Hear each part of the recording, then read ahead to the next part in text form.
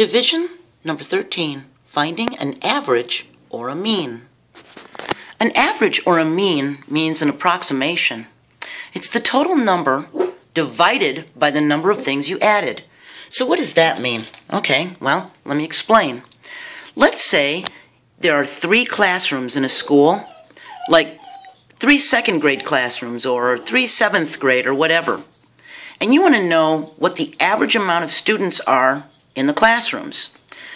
If class 1 has 28 students, and the second classroom has 32 students, and the third classroom has 27 students, what you would do is you would add the 28, the 32, and the 27, and then you would divide them by the number of things you added. In this case, you would divide it by 3 because there's three things that we're adding. Well, 8 plus 2 is 10, plus 7 is 17. We carry the 1 and put the 7 down. 1 plus 2 is 3, plus 3 is 6, and 2 more is 7, 8. That's 87.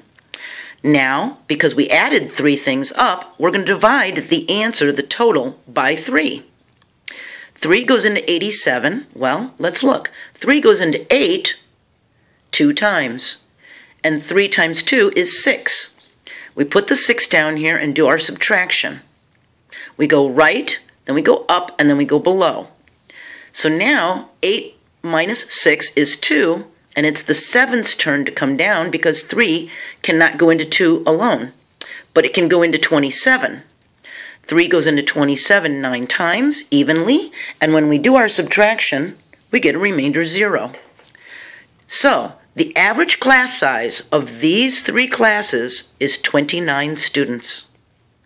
We added up the three numbers and then divided it by the three. So let's look at this.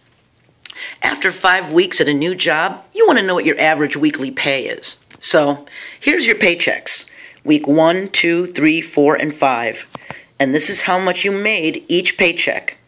So what we would do is we would add these five up, and because there's five, we're going to take the total and divide it by five. So let's see what we have here. 5 and 7 is 12. 13, 14, 15, 16, 17, 18. We're going to carry the 1 and put the 8 down. 3 and 1 is 4, and 6 is 10. That makes another 10, so we got 20, 21, 22. We're going to carry the 2, put the 2 down, and remember our decimal point. 2 and 1 is 3, and 7 is 10, and 6 is 16, 17, 18. We're going to carry the 1 and put the 8 down. 1 and 2 is 3, and 8 is 11, and 4 more is 15, 16, 17, 18. We're still at 18 because of the 0. 1 and 4 is 5, 6, 7, 8, and 4 is 12, and 4 is 16, and 4 is 20. So, in the five weeks, you've made $2,088.28. $2,088.28. We're going to divide this number by 5. And that is going to give us the average. 5 cannot go into 2, but it can go into 20. So we're going to write our number above the 0. 5 times 4 is 20. We write the 20 there that we multiplied by, do our subtraction, and we get 0. Can 5 go into 0? No. So it's the 8's turn to come down. Can 5 go into 8? Yes, one time. So we put it above that 8. 5 times 1 is 5. We do our subtraction, and we get 3. Can 5 go into 3? No. So it's this 8's turn to come down. Can 5 go into 38? Yes, it can. 5 times 7 is 35. So we're going to put the 7 above that 8 that we brought down. 5 times 7 is 35. We're going to do our subtraction and get 3. Can 5 go into 3 again? No. It's this 2's turn to come down. Can 5 go into 32? Yes. Let's put our decimal point above the other decimal point. 5 times 6 is 32. Is 30, I'm sorry.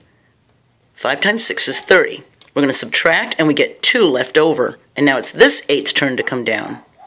Can 5 go into 28? Well, 5 times 5 is 25. So we're going to put our 5 up here. We're going to put our 25 down here. We got 3 left over. Can 5 go into 3? No. But if we add another 0 here and bring it down, 5 goes into 30 six times. Now, because we're dealing with money, we really only have two decimal places to work with.